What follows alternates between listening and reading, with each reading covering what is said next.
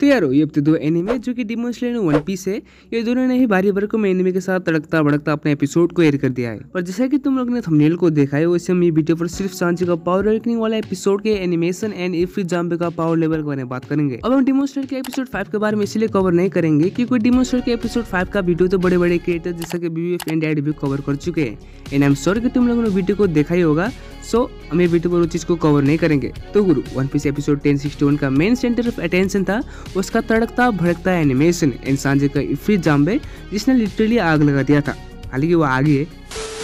खैर, ये एपिसोड से एक बढ़िया न्यूज़ आया है और वो न्यूज़ ये है कि ये एपिसोड ने आई पर 9.7 का रेटिंग हासिल कर लिया है। जब तुम लोग ये चेक करोगे रेटिंग थोड़ा बहुत कम भी हो सकता है, पर मैं दावे के साथ बोलता हूँ कि ये रेटिंग 9 से नीचे नहीं जाएगा। तुम लोगों को पता है कि नहीं, पर नाइन से ऊपर का रेटिंग सिर्फ़ एक well return climax best animation and visual episode को दिया जाता है। जैसा कि डेमोन्स्ट्रेट का सीज़न टू का I will never give up episode जिसका रेटिंग 9.9 था। अटैक ऑन टाइटन का परफेक्ट गेम वाला एपिसोड जो 9.8 रेटिंग का था। तुम लोग को याद दिला दूँ तो ये एपिसोड पर लिवाई ने धड़ाम धड़ाम से बीस टाइटन को काटा था। तो जैसा कि मैंने कहा था कि 9 से ऊपर का रेटिंग सिर्फ़ एक well return climax best animation and visual episode को दिया जाता है।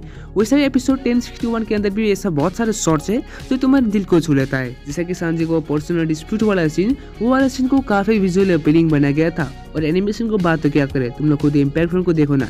कि हर एक को किस तरीके से एनिमेट किया गया है? लिटरली ऐसा एपिसोड तो सांची डिजर्व करता ही है।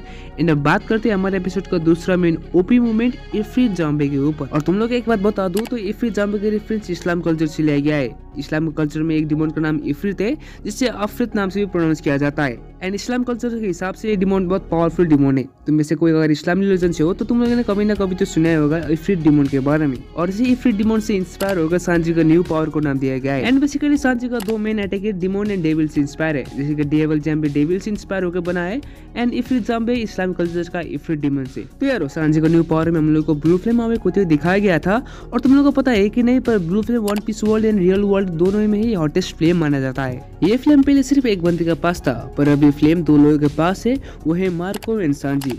Blue flame कितना हॉट है, तुम लोग को पता नहीं है तो ये फ्लेम वन पीस का most offensive devil fruit Mago Mago no Mi के साथ क्लैश करने का एबिलिटी रखता है। तो यार ओवरऑल वन पीस एपिसोड 1061 काफ़ी ओपी था एंड जो प्रोमिस वन पीस के एनिमेटर ने किया था कि एनिमेशन के मामले में ये साल वन पीस का है, वो मुझे पूरा होते हुए दिखाई दे रहा है। एंड कुछ दिन जोरो का final fight and gear five का एपिसोड भी आने वाला है। एंड एपिसोड तरह वो एपिसोड भी आग लगाने वाला है, ये तो मैं लिख कर देता हूँ। तो यार, आज के लिए वीडियो इतना वीडियो मस्त लगाओ तो दिल पर पत्थर रखे एक लाइक और सब्सक्राइब को दबा देना। तो गुरु, मिलते हैं नेक्स्ट वीडियो पर। Till then bye bye and thanks for watching.